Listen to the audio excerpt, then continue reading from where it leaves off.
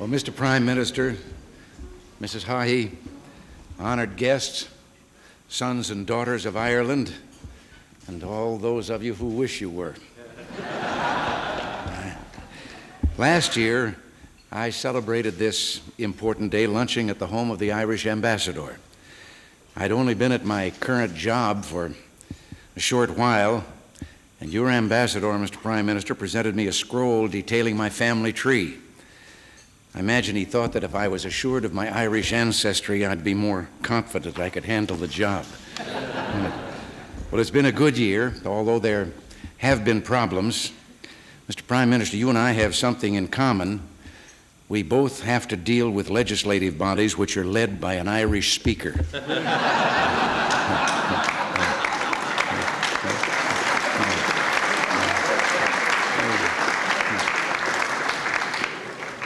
Seriously, so many of our citizens have family trees with roots in the Emerald Isle.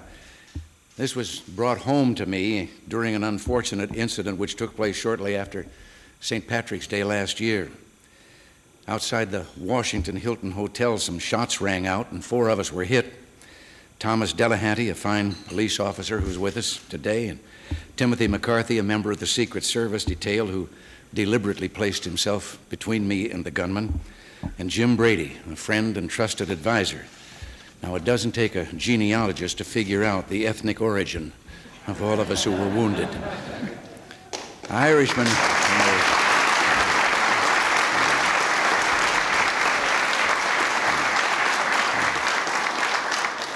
Irishmen and the descendants have always played a significant role in America's history. Some of our most fiery patriots, the ones who inspired the colonies into or on to independence were of Irish blood.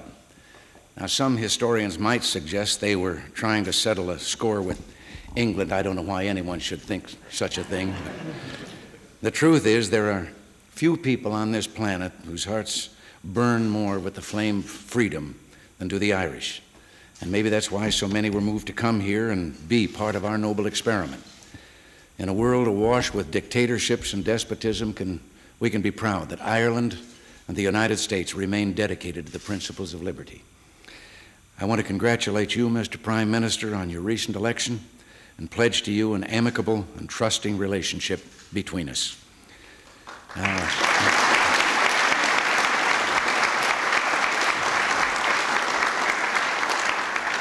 now, just a moment ago, the minority leader of the House, Congressman Michael just came up and presented me with a, a shillelagh.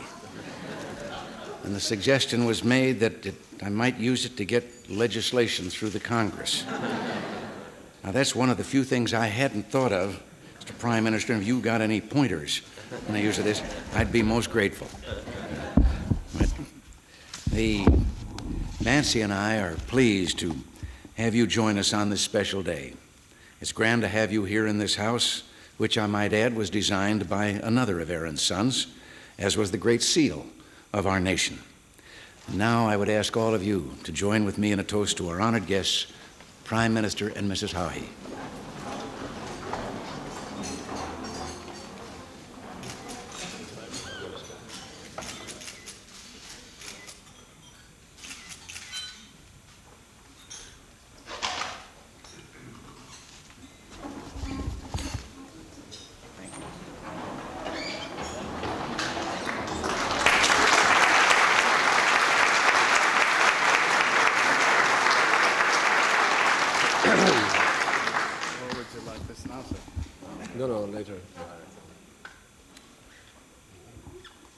Mr. President, I would like to thank you for your kind words of welcome and for the warmth and splendor of your hospitality. My wife and I and the members of our party are overwhelmed by the friendliness and cordiality shown to us on this short visit to your great country. Uh, I could offer, by way perhaps of recompense that if you have any great trouble, Mr. President, with the Irish speaker, I could offer you uh, my assistance born from years of experience with dealing with difficult Irish speakers. For any Irishman, it is an exceptional honour to be received in this House, which, as you have said, Mr. President, was designed by an Irishman and is in itself a symbol of the manner in which the history of our two countries is woven together. To be received in the White House by a president who bears an Irish name and cherishes his Irish heritage is a unique and special experience. The United States, Mr. President, was the first nation in the world's history to be founded on a dream. And it was a dream which, over the years, has commingled with reality, sometimes, as dreams will, outshining it, and at other times again, fading away from it. But in those valleys which all nations experience, when the reality has seemed to fail the dream, there have not been wanting great statesmen and men of courage to reshape the destinies of this land and to recall their countrymen to the brightness of the original vision. And if the United States has been for its citizens ideal and fact, dream and reality, so it has been for millions of Irish men and women also. I need hardly remind a St. Patrick's Day gathering of that deep wish for a new life across the sea, which for so long sustained so many of our countrymen, or of the countless thousands who came to these shores in sorrow and bewilderment and found what they had scarcely dared to hope for, found that their own personal individual dream had at last come true. But though they made their own of this great new land, they rarely severed their ties with home, and the letter from America has entered deep as folklore and as fact into the Irish consciousness, into our literature, our tales of the past, our family memories.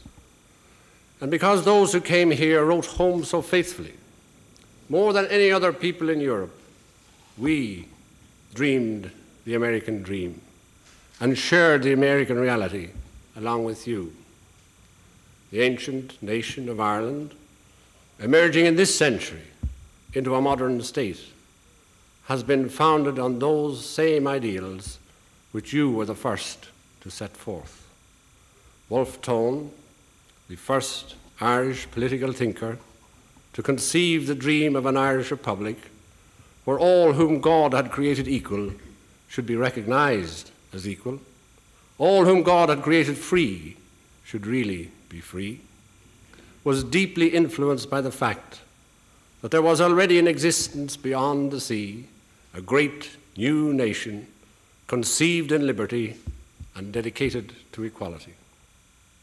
From that day to this, as we dreamed our dream and fought to establish a republic dedicated to equality, we have always turned to you as a source of vision and help. The greater part of the island of Ireland today has become a modern state where all are free and equal before the law, where bigotry and discrimination have faded away, and sectarianism holds no place in our laws, our constitution, or our daily lives. And in speaking of these things to Americans, I know the sympathy and understanding they will evoke. For no man can speak of freedom and equality to Americans without striking chords. Of the lamps burning in the belfries of New England, of those farmers that stood by the rude bridge at Concord, or of the great document that the founding fathers composed at Philadelphia. But there's one thing we Irish have not yet achieved, and of which we are constantly reminded everywhere we go in this great capital city, where the memory of Abraham Lincoln and his struggle to save the American Union and to avoid the partition of his country are so beautifully and so splendidly commemorated. Whereas Lincoln sought to prevent the partition of his country, we are seeking to bring to an end the partition of ours.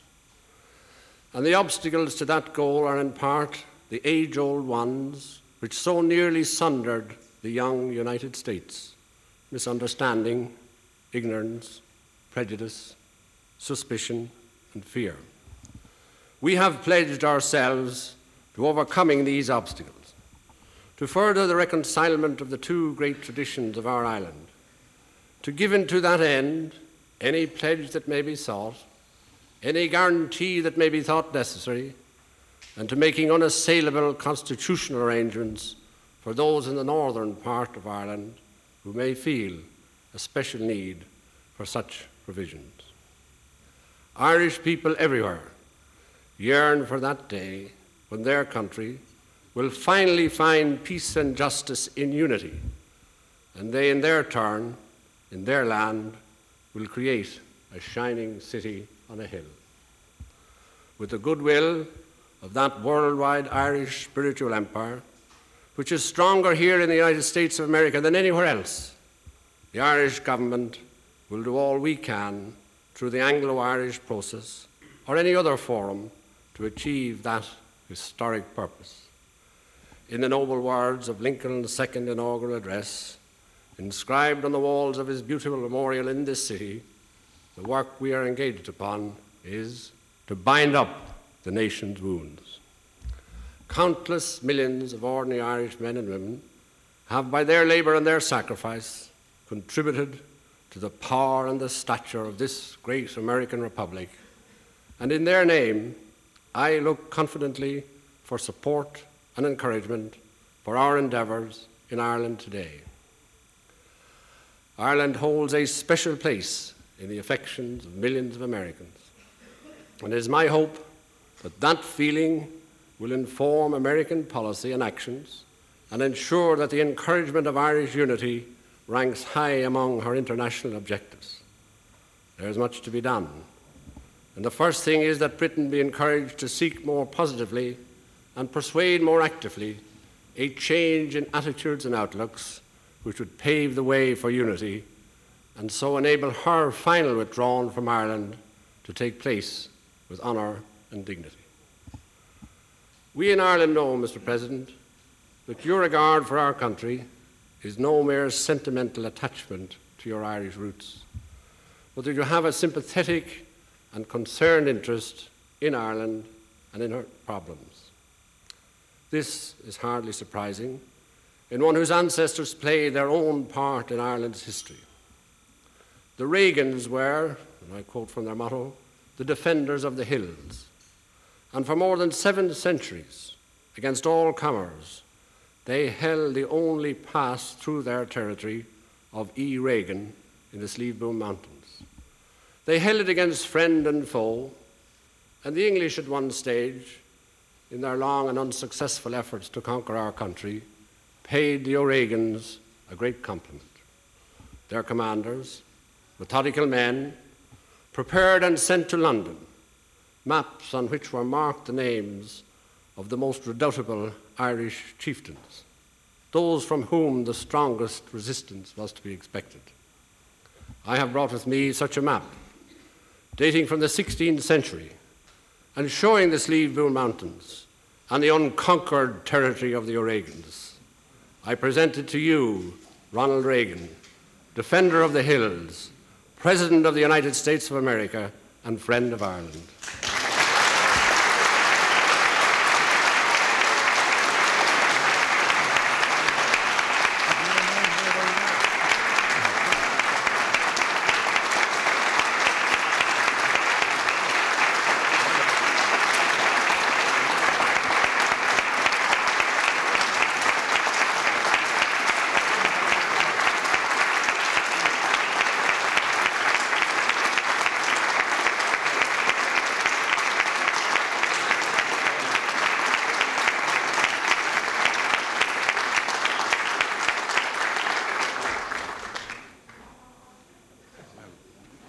Prime Minister, I thank you very much. I realize that I'm going to be threatened with investigation of my income tax if I don't at least share it with Don Regan. Incidentally, and before we're going to have entertainment here, and I know you're going to you're going to love it because I've heard these two wonderful artists before, but also mention that while government is often very lacking in timing, not this time yesterday we swore in to be effective as of today our new ambassador to Ireland, Pete Dailey.